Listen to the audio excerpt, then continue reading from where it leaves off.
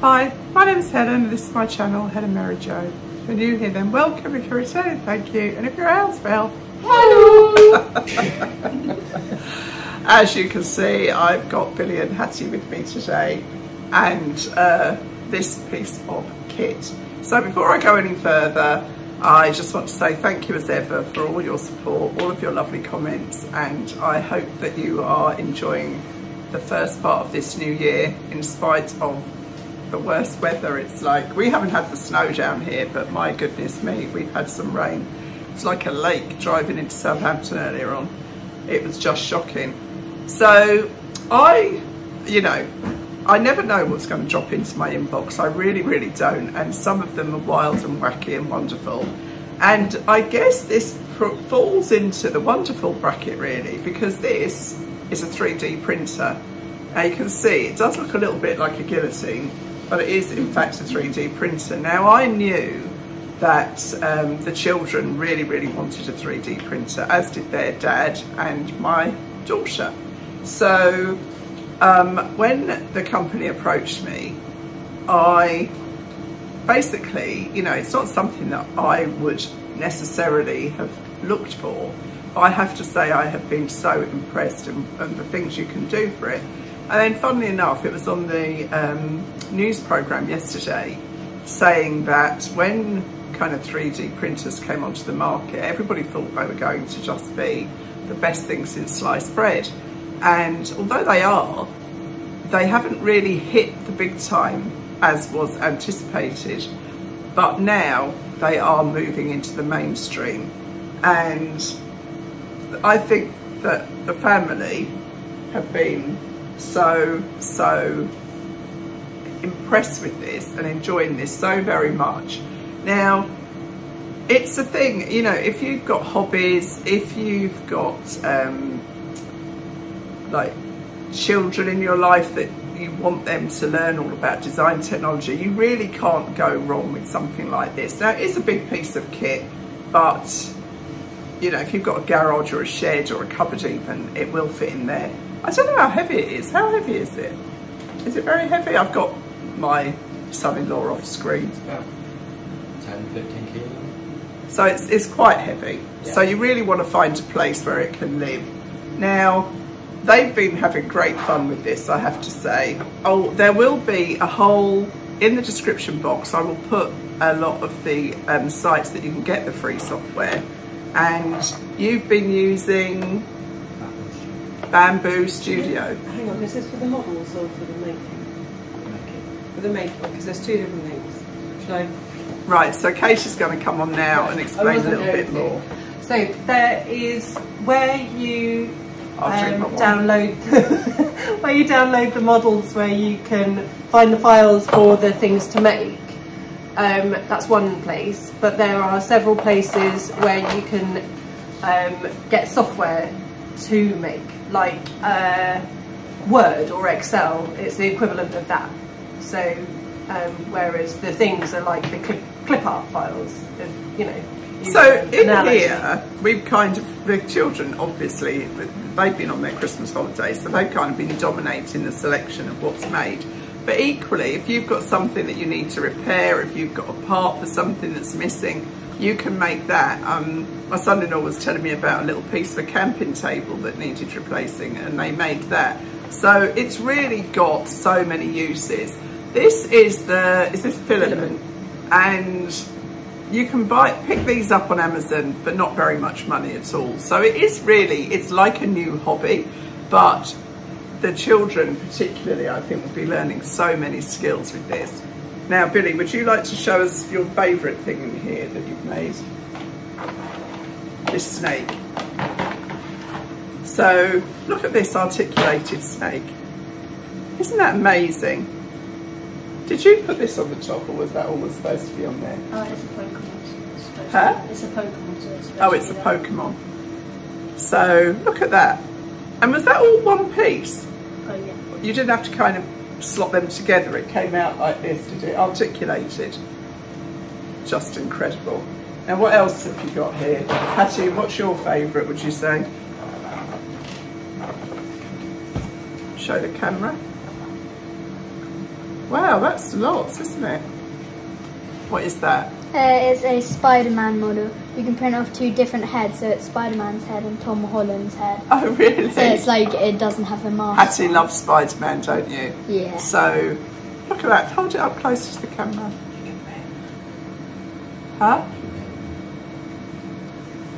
You can also paint them. Yeah, so you can really, uh, really go to town, can't you? It's a little bit, um, reminds me a little bit of Dungeons and Dragons. And what else is in here? We've got a bag clip. A shark bag clip. Sharky and a a little boot. and what's a that, Benji Lily? there. This is a practical. Did you make that? Yeah. Do you want to show the camera? Um, it's something that can hold like cards, playing cards, or Look at that. I didn't even know you'd made that. that's that funny because like you some- opened it on the exact one that this is. Oh, that's funny, isn't it? That was like I rehearsed that and I truly didn't. I'm just so good at this job. Look at that. I think that's amazing. So if you played cards even, that's something you could have, isn't it? What did you want to say? You can make the top. That's what we're going to do. Yeah, the lid. Yeah, so you can make the lid as well. That's so what you're going to do next. you've actually got a carry case. So it really is that it's boundless. The things you can make on this are just boundless, and you can get all different colour filaments. You can get multicoloured. You can go kind of as wild and wacky as you really like. So I'm very, very impressed. Katie's now going to come on and do a bit more of a practical demonstration because by the time she's taught me how to do it, because it's been at their house. I mean, I'm not going to pretend it's been here. It's been at their house and um, they've been really enjoying it over the Christmas holidays. So I, the link for everything will be down in the description box. And I'll move and let Katie. Oh, I was going to say, if Oh, you hold that so the I'll hold screen it. can see the Oh, okay. screen, and then I'll. Yeah, does that work? I feel like um, something off the Price is Right. So this is Thingiverse, which was one of the sites where you can download the files. oh files. yeah, that's one they recommend. yeah. Yeah. So we downloaded all the files earlier. Right. So this is Elegoo Cura. So in order to upload a model file, we go to File, Open File. We select our Pokemon lid and we open it up here.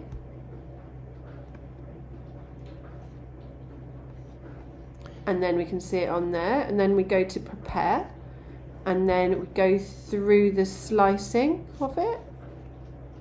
So click slice down here, and it will process the model, and then preview it up here.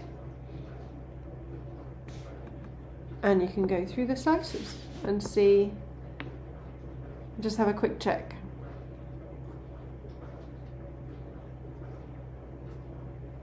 You save it. and then save it down here. And just save it and we're saving it to the stick and we'll transfer that to the printer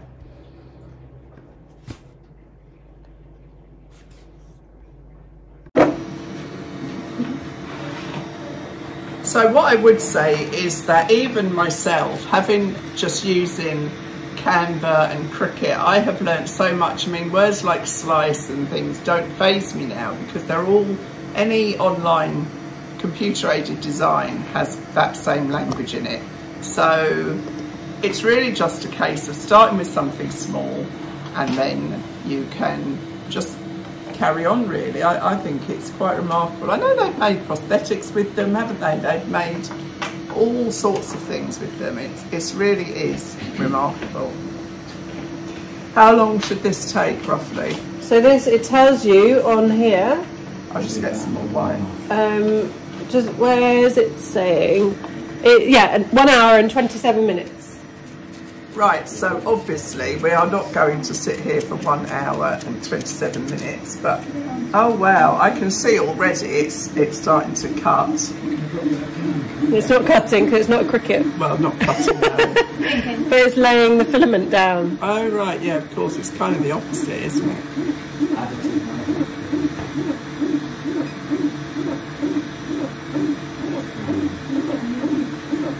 And so basically, this little filament here, Katie, Katie, this filament here is going down, and then Yeah, so Um, it, it basically melts it and sticks it to this plate, right, and it so it's literally kind of colouring in with the, up. yeah. It's look, it's done an outline, yeah. and now it's kind of colouring in with the filament.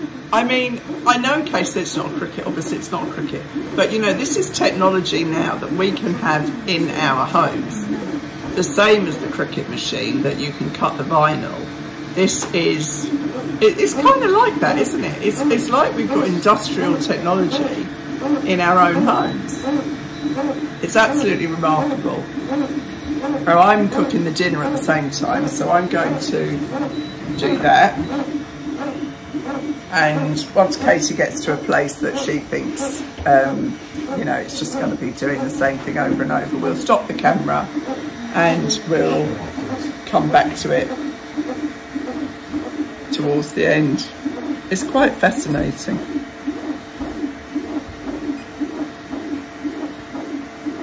So that shape that's oh, Chris just put it in sport mode, oh. literal sport mode, a like a car. turn.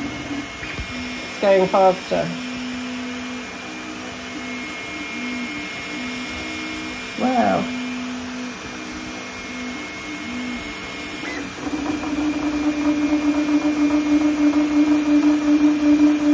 I'm a bit bewildered. That's the lid for the card case.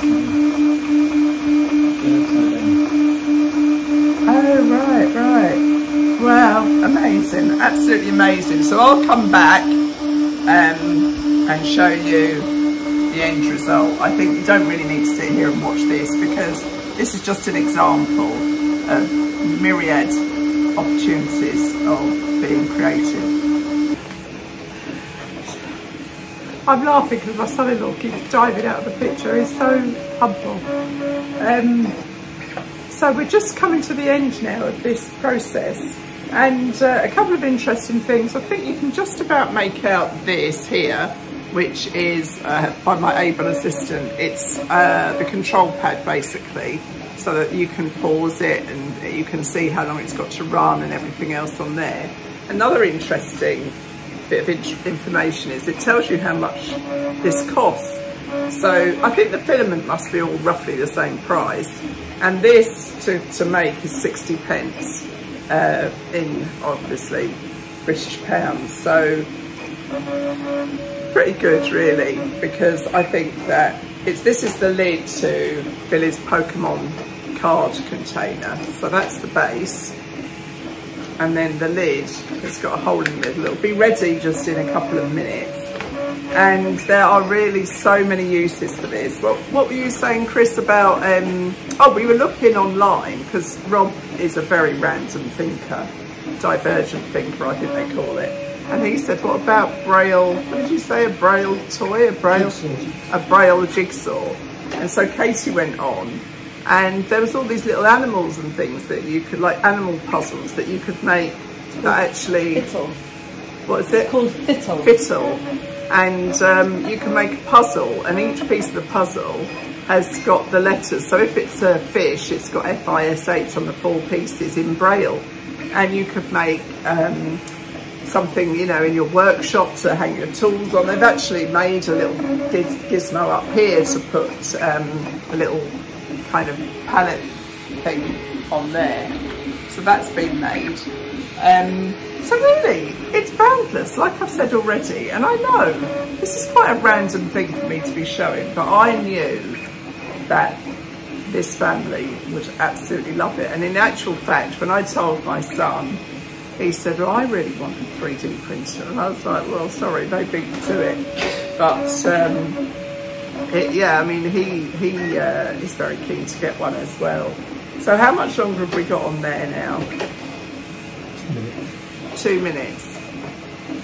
So is there anything else I need to tell you?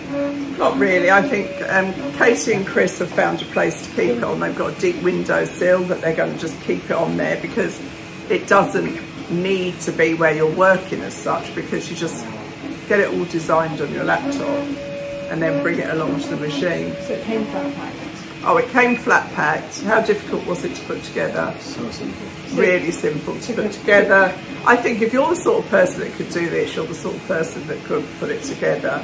Um, and full instructions. I think it's it's really, really incredible. And there's no other word for it. It's just incredible. So I'll put Billy's cards in here ready. Of course, he's sloped off to the other room to watch the TV. I mean, it's a little bit like the Cricut, you know, once it's running, it just gets on with itself, really. But we're nearly there. Oh, it's having a funny jittery joddery.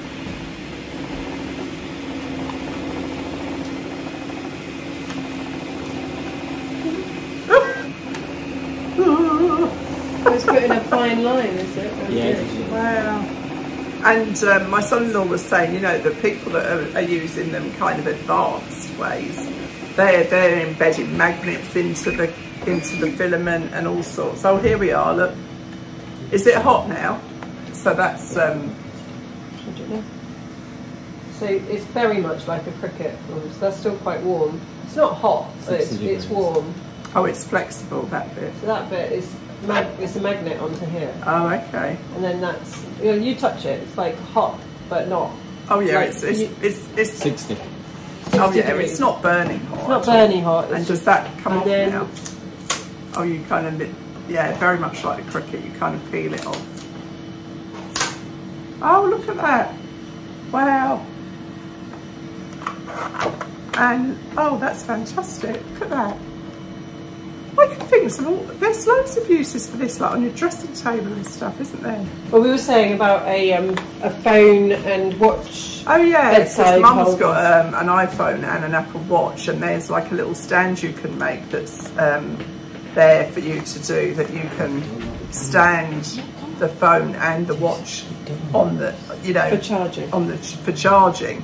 So, what's that, Billy? You want to This is show For me? the circle. Oh, It goes in the the other side. oh, in the other side. What is this? A coin. A Pokemon coin. Oh, look at that. Oh my There's a goodness. I mean, many. it means nothing to me, but I still think that's fantastic. Does it click in? Or? I think it's supposed to Oh, it, it might have clicked in. I'm, you know, I'm used to this stuff. Oh yeah, it did click in. There. Look at that. Wow. That's pretty cool. That is pretty cool by any stretch of the imagination. So, and it's even got like, you can see the little cuts here so you can lift it off. So I think that's marvellous. So there you are, Billy. What a lucky boy you are. Very, Thanks. very lucky. So that's really my introduction to this amazing bit of kit. Took Um, 46 minutes. Pardon? That took 46 minutes. 46 minutes to make that. So you just do it and go and do something else. In my case, I'm cooking the dinner. And uh, yeah, it's marvellous. So what can I say? All the information will be in the description box. And um, I'll see you really soon. Thanks for watching. Bye.